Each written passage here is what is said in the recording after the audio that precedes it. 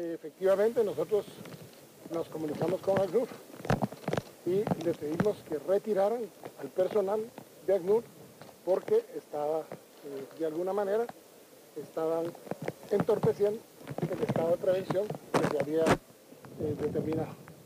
El canciller Pedro Brolo, las comunicaciones, en un momento dado, ACNUR dudó de lo que nosotros estábamos diciendo, pero mandamos fotos y todo. Para nosotros eh, quedó subsanada la diferencia. Ellos se comprometieron a hacer una investigación interna para determinar quién dio la orden de eh, bloquear el estado de prevención. Pero para nosotros eh, diplomáticamente está superado la desaveniencia que tuvimos estos días.